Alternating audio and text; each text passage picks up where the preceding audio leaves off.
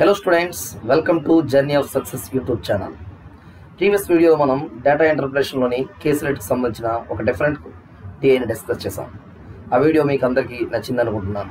Okay so అదేవిధంగా మరొక వీడియోని ఈ మరొక టాపిక్ని ఈ వీడియోలో డిస్కస్ చేయబోతున్నాం. సో లాస్ట్ వీడియోలో మనం డిస్కస్ చేసింది ఏంటంటే వెంటై గ్రౌండ్ బేస్ చేసుకుని ఉండే ఒకటి ఏని మనం చూడడం జరిగింది. అలాగే ఒకే కాన్సెప్ట్లో రెండు సబ్ టాపిక్స్ ఇస్తే ఎలా ఉంటుందనే దాన్ని కూడా డిస్కస్ చేయడం జరిగింది. ఓకే సో ఈరోజు నేను డిస్కస్ చేయబోయే వీడియో ఏంటంటే యావరేజ్ బేస్డ్ డిఏ అనమాట అంటే కేసులెట్లోనే యావరేజ్ కాన్సెప్ట్ని బేస్ చేసుకుని అడిగే క్వశ్చన్ ఎలా ఉంటుంది అనేది చూద్దాం.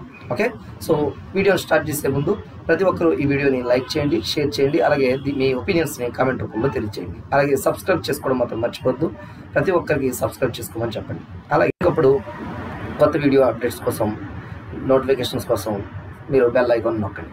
ఓకే సో అదేవిధంగా మీ ఫ్రెండ్స్ అందరికీ ఎవరైతే IBPS clerks mains exam prepare అవుతున్నారో ఈ వీక్లో జరగబోయే వాళ్ళకి ఈ ఛానల్ సబ్స్క్రైబ్ చేసుకోమని చెప్పండి. అలాగే ఎస్ఎస్సి సిజిఎల్ ఏప్రిల్లో జరగబోతుంది. అలాగే ట్వంటీ ఎయిట్న టైప్ టూ ఎగ్జామ్ కూడా జరుగుతుంది. వాళ్ళకు కూడా కొన్ని కాన్సెప్ట్స్ యూజ్ అవుతాయి కాబట్టి సో వాళ్ళని కూడా ఈ వీడియోస్ చూడమని చెప్పండి. అలాగే ఎవరైతే క్యాలిక్యులేషన్స్లో ఇబ్బంది పడుతున్నారో వాళ్ళకి స్క్వేర్స్ని ఎలా ఫైండ్ అవుట్ చేయాలి? స్క్వేర్ రూట్స్ ఎలా ఫైండ్ అవుట్ చేయాలి? అలాగే పర్సంటేజ్ బేస్డ్ క్యాలిక్యులేషన్స్ ఫ్రాక్షన్స్ అలాంటివి ఎలా చేయాలని కూడా మనం ప్రీవియస్ వీడియోస్ చేసాం. ఒకవేళ ఎవరైనా చూడకపోతే ఆ వీడియోస్ కూడా మీరు వెంటనే చూసేయండి. ఓకే ఇప్పుడు మనం లేట్ చేయకుండా మన వీడియోలోకి వెళ్ళిపోదాం. ఓకే సో మన కాన్సెప్ట్ ఇవాళ ఇచ్చిన డిఏ యావరేజ్ బేస్డ్ డిఏ అన్నాం కదా? Okay so first of all వినండి. The given table shows the total number of boilers tap and bob okay ఈ టేబుల్ ఏం చెప్తుందంటే నెంబర్ ఆఫ్ బాయిలర్స్ బాయిలర్లు ట్యాప్ అనే ఒక టైప్ బాయిలర్స్ ఉన్నాయి. ఇక్కడ బాప్ అనే బాయిలర్స్ ఉన్నాయి. రెండు రకాల బాయిలర్స్. అవి ఎన్ని ఏ విధంగా ఉన్నాయి? ఆ టోటల్ నెంబర్ వాటిని కలిపితే ఎంత ఉన్నాయో చెప్తుంది. ఇంకా ఏం చెప్తుందంటే average quantity of water boiled per boiler అని అంటుంది. అంటే ఒక్కొక్క బాయిలర్లో యావరేజ్గా ఓకే యావరేజ్గా ఎంత వాటర్ బాయిల్ అవుతుందని చెప్తుంది. అలాగే percentage of quantity of water boiled in tap out of total quantity of water boiled in in both the boilers together అంటున్నాడు. అంటే ఏంటంటే ఓవరాల్గా రెండింటిలో కలిపి ఎంత వాటర్ అయితే బాయిల్ అవుతుందో అంతలో ట్యాప్ అనే బాయిలర్ ఉంది కదా అందులో ఎంత పర్సంటేజ్ వాటర్ బాయిల్ అవుతుంది అన్నది చూపించడం జరుగుతుంది. అలాగే average quantity of water boiled per bob in four different factories అలాగే బాప్లో ఎంత average quantity of water boil అవుతుంది కూడా చూపిస్తుంది. ఓకే ఇక్కడ చూస్తే టోటల్ ఫోర్ కంపెనీస్ ఉన్నాయి. సారీ ఫోర్ ఫ్యాక్టరీస్ ఉన్నాయి. ఫోర్ ఫ్యాక్టరీస్ అను ఉష్మ వ్యాస్ప్ ద్రవ్య అనే ఫోర్ ఫ్యాక్టరీస్ ఉన్నాయి. సో ఫస్ట్ కాలం మీరు చూస్తే టోటల్ నెంబర్ ఆఫ్ బాయిలర్స్ అని ఉంది అంటే tap boilers at the same time boil bob boilers రెండు కలిపితే ఎన్ని ఉన్నాయో చెప్తుంది. ఎన్ని ఉన్నాయో టోటల్గా త్రీ హండ్రెడ్ బాయిలర్స్ ఉన్నాయి. Okay next.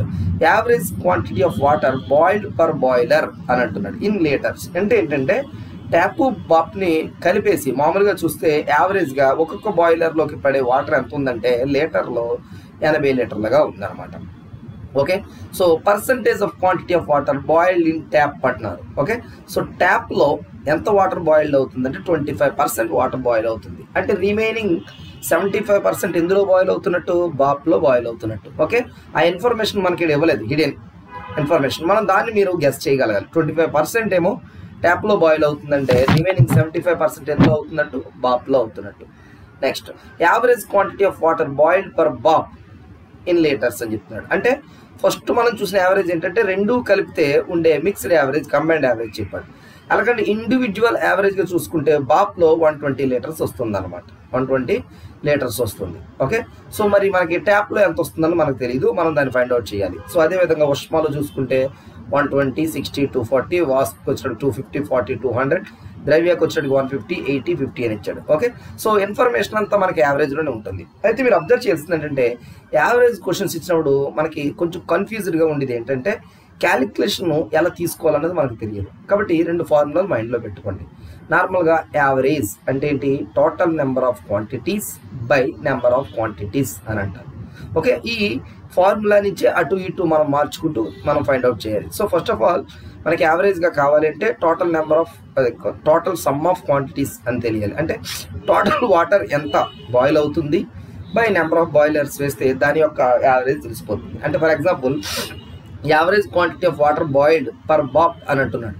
బాప్లో average quantity of water అంటే ఎలా చెప్పాడు టోటల్ వాటర్ బాయిల్డ్ ఇన్ బాప్ అని తీసుకుని దాన్ని నెంబర్ ఆఫ్ బాబ్ బాయిలర్స్తో డివైడ్ చేస్తే యావరేజ్ వచ్చింది అనమాట ఓకేనా దీన్ని బేస్ చేసుకున్నప్పుడు క్యాలిక్యులేషన్ ఎలా చేయాలనేది మీకు ఇప్పుడు చూపిస్తాను. దాని నుంచి నేను మిగిలిన లెక్కలోకి వేస్తాను. సో మనకు తెలియని అన్నోన్ ఏంటంటే ట్యాప్లో ఎన్ని బాయిలర్స్ ఉన్నాయి వ్యాప్లో ఎన్ని బాయిలర్స్ ఉన్నాయి అంటే సెపరేట్గా అలాగే ట్యాప్ యొక్క యావరేజ్ వాటర్ బాయిల్డ్ ఎంత అనేది తెలియదు బాపు తెలుసు. సో ఇప్పుడు నేను ఈ నాలుగిట్లని ఈ మూడింటిని ఫైండ్ అవుట్ చేస్తాను. ఈ మూడింటిని ఫైండ్ అవుట్ చేసిన టేబుల్ ఇప్పుడు నేను చూపిస్తాను. జాగ్రత్తగా చూడండి. మీకు ఒక్క క్యాలిక్యులేషన్ అర్థమైతే మిగిలిన అన్ని క్వశ్చన్స్ మీరే స్పీడ్గా విత్ ఇన్ ఫైవ్ మినిట్స్లో క్వశ్చన్లు అన్నీ అయిపోతాయి. ఓకే ఇప్పుడు చూద్దాం.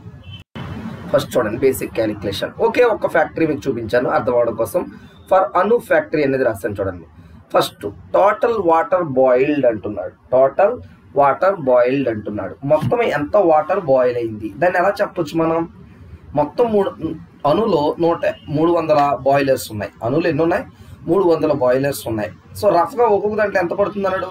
ఎనభై లీటర్లు పడుతుంది అన్నాడు. యావరేజ్ అంటే అంతే కదా పర్ హెడ్ అంటే ఒక్కొక్క బాయిలర్లో ఎయిటీ లీటర్స్ నిండుతుంది అని అంటున్నాడు. సో ఆ విధంగా లెక్క పెట్టుకుంటే బాయిల్ అవుతుంది అనుకుంటే మూడు వందల బాయిలర్స్లో మొత్తం క్వాంటిటీ ఆఫ్ వాటర్ బాయిల్ ఎంత అవుతుంది? టోటల్ క్వాంటిటీస్ ఇంటూ యావరేజ్ అంతే కదా? Average into total number of quantities అంటే three hundred into eighty that equal to twenty four thousand next ఇందులో ఈ టోటల్ బాయిల్ అయిన దాంట్లో ట్యాప్లో ఎంత బాయిల్ అవుతుందని చెప్పాడు? మనం టేబుల్ చూస్తే ట్వంటీ ఫైవ్ పర్సెంటేజ్ అని చెప్పాడు. సో ఈ ట్వంటీ ఫోర్ థౌజండ్లో ట్వంటీ ఫైవ్ పర్సెంటేజ్ ఎంతో చూసాను చూస్తే ఎంత వచ్చింది చూడండి? Twenty five percentage of twenty four thousand that equal to six thousand వచ్చింది. సో మిగిలిన సెవెంటీ ఫైవ్ పర్సెంట్ ఎందులో వస్తుంది? బాప్లో వస్తుంది. సో వాటర్ బాయిల్డ్ ఇన్ బాప్ బాయిలర్లో చూస్తే seventy five percentage of twenty four thousand చూసాం. ఎంత వచ్చింది? ఎయిటీన్ థౌజండ్ అని వచ్చేసింది. సో ఇండివిజువల్గా ఒక్కొక్క బాయిలర్లో అదే ఒక్కో బాయిలర్లో సెపరేట్గా ఎంత వాటర్ బాయిల్ అవుతుందో తెలిసిపోయింది. సో ఇప్పుడు నెంబర్ ఆఫ్ బాబ్ బాయిలర్ చూద్దాం అనుకుంటున్నాను. సో నెంబర్ ఎలా తెలుస్తుంది? మామూలుగా మీకు తెలిసిన formula average equal to total value by number of boilers అని తెలుసు. సో నెంబర్ ఆఫ్ బాయిలర్స్ని ఇటు సైడ్కి తీసుకొస్తే లెఫ్ట్ సైడ్కి యావరేజ్ కిందకు వస్తుంది కదా? సో అప్పుడు ఫార్ములా ఏమవుతుంది? Number of boilers equal to total water boiled by average okay so total water boil ఎంత అయింది? ఎయిటీన్ థౌజండ్ అయింది. బై యావరేజ్ ఆల్రెడీ వాడు ఇచ్చాడు కదా టేబుల్లో వన్ ట్వంటీ సెపరేట్గా డివైడ్ చేస్తే ఎంత వచ్చింది? One fifty so number of Bob boilers ఎంత? వన్ ఫిఫ్టీ అంటే మొత్తం మూడు వందల బాయిలర్స్లో నూట యాభై బాబ్ బాయిలర్స్ ఉన్నాయి. మరి మిగిలినవి ఏమవ్వాలి? ఖచ్చితంగా ట్యాపే కదా? So number of tap boil tap bob boilers equal to three hundred minus one fifty equal to one fifty వచ్చేసింది.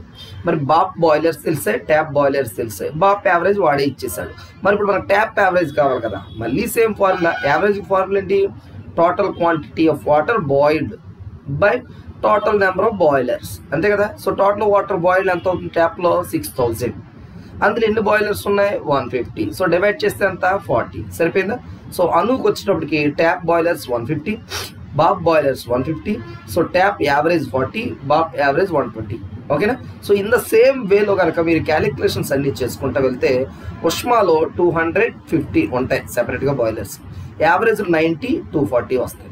అదేవిధంగా వ్యాస్కి వచ్చేటప్పటికి ఫార్టీ వన్ ట్వంటీ బాయిలర్స్ వస్తాయి. యావరేజ్ వచ్చి ఫోర్ హండ్రెడ్ టూ హండ్రెడ్ వస్తుంది. ఓకే నెక్స్ట్ ద్రవ్యకు వచ్చేటప్పటికి eighty tap one twenty bob ఉంటాయి. మరి ట్యాప్ యావరేజ్ ఏమో త్రీ హండ్రెడ్ ఉంటుంది బాప్ యావరేజ్ ఏమో ఫిఫ్టీ ఉంటుంది. ఓకే సో ఇప్పుడు నేను టేబుల్ తయారు చేస్తాను. ఓకే క్యాలిక్యులేషన్స్ పెద్ద ఏముండవండి ఆ సిక్స్ క్యాలిక్యులేషన్సే ప్రతి దానికి ఉంటాయి. అవి కూడా మీకు లెంతీ కాదు. ఎక్కువ క్యాలిక్యులేషన్ ఉండదు. జస్ట్ యావరేజ్ అనే ఫార్ములా గుర్తుంటే మీకు లెక్కలు అయిపోతాయి. ఓకే ఆ ఫార్ములానే అటు ఇటు తిప్పుతున్నాం మనం. ఓకే సో ఇప్పుడు ఈ క్యాలిక్యులేషన్ చేశాక దీన్ని బేస్ చేసుకుని క్వశ్చన్స్ ఎలా ఉంటాయో చూద్దాం. ఓకే సో ఫస్ట్ క్వశ్చన్ చూడండి. For Anu find the ratio of average quantity of water boiled in each tap and each bob అన్నాడు. అంటే ఏమడిగాడు? అను అనే ఫ్యాక్టరీలో ట్యాప్లోను బాప్లోను average quantity of water boil అవుతుంది కదా వాటి రేషియో అడిగాడు. అర్థమవుతుందండి? సో మనం ఆల్రెడీ ఫైండ్ అవుట్ చేసాం. ట్యాప్ది ఫైండ్ అవుట్ చేసాం బాప్ది ఆల్రెడీ వాడే ఇచ్చాడు. సో ట్యాప్కి యావరేజ్ ఎంత వచ్చింది మనకి? ఫార్టీ. బాబుకి యావరేజ్ క్వాంటిటీ ఆఫ్ వాటర్ ఎంత వచ్చింది one twenty so forty is to one twenty అని వచ్చింది. రెండింటిలో ఫార్టీ టేబుల్ క్యాన్సిల్ చేస్తే వన్ ఇస్ టు త్రీ అనమాట సో ఆన్సర్ ఎంత అవుతుందండి one is to three that is option C okay next number of bob in Ushma is how much percent more or less than number of tap in it అని అంటున్నాడు. ఏమడుగుతున్నాడంటే ఉష్మా కంపెనీలో ఉన్న Bob బాయిలర్సు tap boilers కంటే అదే కంపెనీలో ఉన్న tap boilers కంటే ఎంత పర్సంటేజ్ తక్కువ ఉంటుంది లేదా ఎక్కువ ఉంటుంది? అది నువ్వు చూసి చెప్పమంటాడు. అంటే మనం చూసి చెప్పాలి. లెస్ కానీ మోర్ కానీ ఉండొచ్చు. అది పర్సంటేజ్లో చెప్తే ఎంత అన్నాడు. ఓకే? సో ఇనీషియల్గా బాప్ బాయిలర్స్ ఏమో ఫిఫ్టీ ఉన్నాయి. ట్యాప్ బాయిలర్స్ ఏమో టూ హండ్రెడ్. సో చూస్తేనే తెలిసిపోతుంది పర్సంటేజ్లో చెప్పకుండానే. ఎక్కువ ట్యాప్ బాయిలర్స్ ఉన్నాయి కాబట్టి బాప్ తక్కువ అని తెలిసింది. సో రేషియో ఎంత వచ్చింది?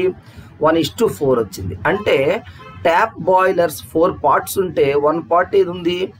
బాప్ ఉంది. అంటే ఎన్ని పార్ట్లు తక్కువ ఉంది? త్రీ పార్ట్స్ తక్కువ ఉంది. ఈ త్రీ పార్ట్స్నే ఈ ఫోర్లో పర్సంటేజ్గా అన్నాడు. So four minus one three by four అంటే ఎంత? త్రీ బై ఫోర్ మనకు ఆల్రెడీ తెలుసు. త్రీ ఫోర్త్ అంటే ఫ్రాక్షన్ పర్సంటేజ్లో చెప్తే seventy five percent so answer ఎంత?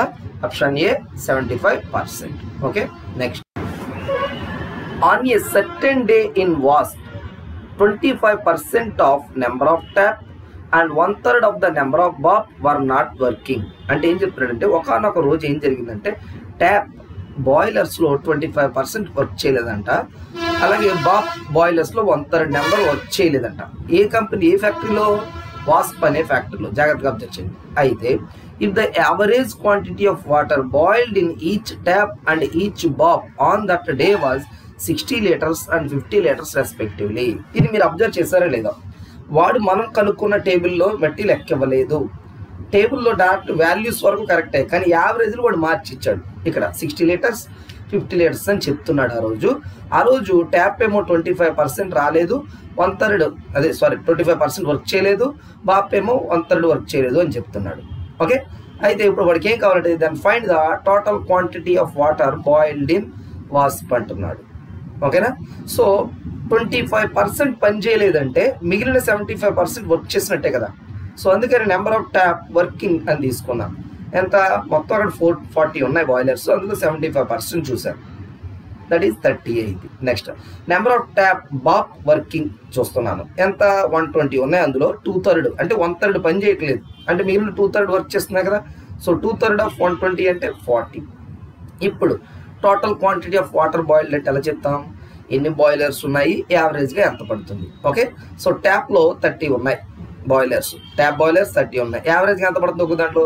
సిక్స్టీ అంటే మొత్తం అన్నింటిలో కలిపి థర్టీ ఇంటూ సిక్స్టీ ప్లస్ అదేవిధంగా బాబుకి వచ్చినప్పటికి ఫార్టీ ఉన్నాయి. ఒక్కొక్క దాంట్లో ఫిఫ్టీ పడుతుంది. అంటే forty into fifty so total add చేస్తే eighteen hundred plus two thousand that equal to three thousand eight hundred అవుతుంది. సో ఆప్షన్ ఏమవుతుందండి? None of these okay next in Dravya 20 more number of tap and 25% more number of bob were installed. Find the difference between the new number of tap and bob in Dravya అంటున్నాడు. అంటే నార్మల్గా ఉండే దానికంటే ద్రవ్యలో twenty taps ఎక్కువ పెరిగినాయి. Tap boilers. అలాగే bob boilers twenty five percent ఎక్కువ పెరిగితే కొత్తగా వచ్చిన బాయిలర్స్ మధ్య డిఫరెన్స్ ఎంత అంటున్నాడు. ఓకేనా? సో మామూలుగానే ట్యాప్ బాయిలర్స్ ఎన్ని ఉన్నాయి ఎయిటీ ఉన్నాయి. సో ట్వంటీ పెరిగినాయి అంటే ఎయిటీ ప్లస్ ట్వంటీ హండ్రెడ్ అయినాయి. ఓకే? నెక్స్ట్ బాబ్ బాయిలర్స్ ఇనీషియల్గా వన్ ట్వంటీ ఉన్నాయి. ఇప్పుడు ఎక్స్ట్రా ట్వంటీ ఫైవ్ పర్సెంట్ పెరిగింది ట్వంటీ ఫైవ్ పర్సెంట్ అంటే ఎంత? థర్టీ.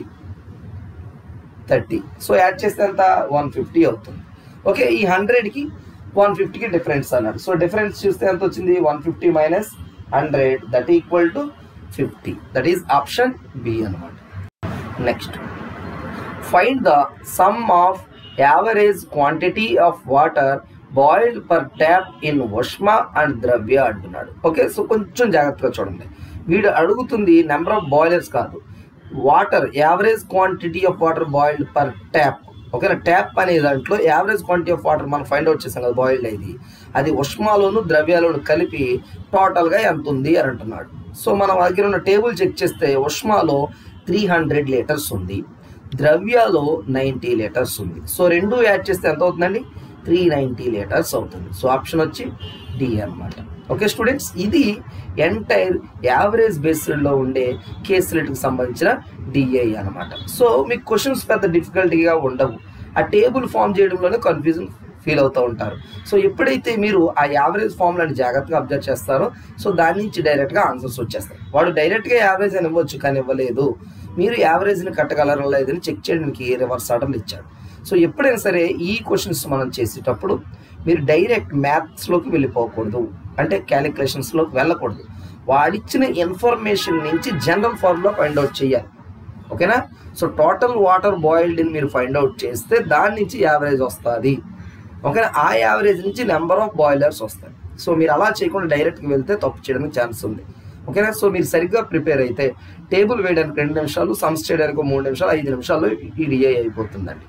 ఓకే స్టూడెంట్స్ నెక్స్ట్ వీడియోలో మరొక డిఏని డిస్కస్ చేద్దాం. ఓకే? Thank you